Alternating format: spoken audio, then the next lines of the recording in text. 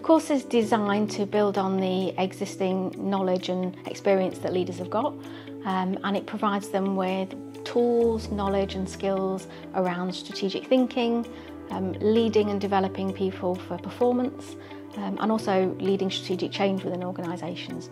The course is, is really nice in that it's designed for everyone from aspiring leaders, so people looking to move into that strategic level, um, to people that have got lots of experience, whether they're senior leaders, directors, business owners or experienced C-suite professionals um, because it is designed to build on the experience that they've got to date um, and to layer onto that theory and models that they can use and think about problem solving. So it's a great one for anyone at any stage of their career to think about strategic leadership.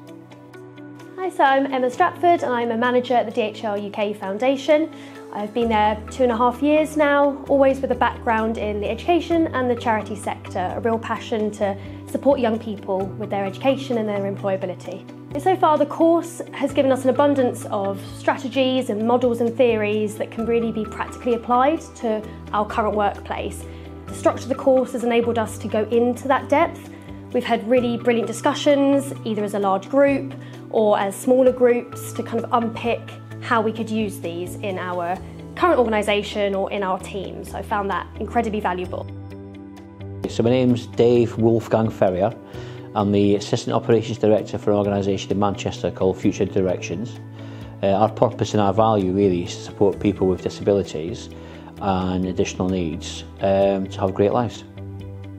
Uh, we're a values-driven organisation, um, so it's a real big focus on leadership and management, how we manage our teams. Our teams are massive, we, we employ about a thousand people across Manchester into Lancashire, so we've got to have a real good strong culture of leadership, management, and this is what attracted me to come on on this course. The conversations I've had with our managing director over the last two days, we spoke about the course and how this might benefit other leaders that will come through our organisation in the future.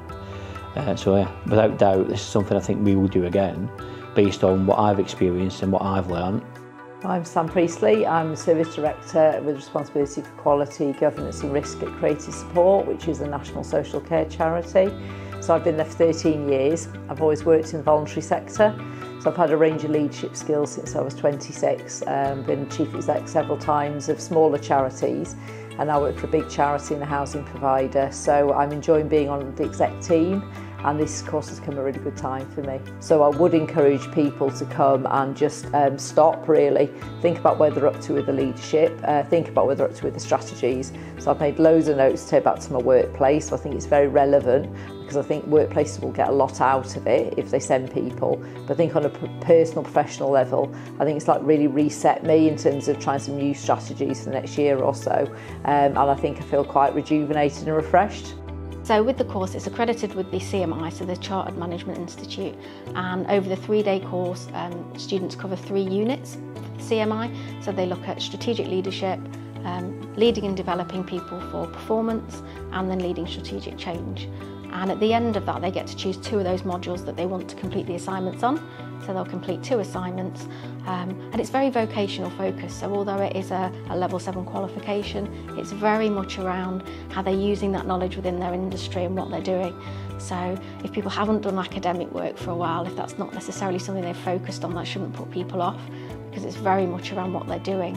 Um, and that will then give them the ability to be an affiliate member of the CMI and, and once qualified they can use that as the basis of becoming a chartered manager with the CMI which is always a great recognition to have.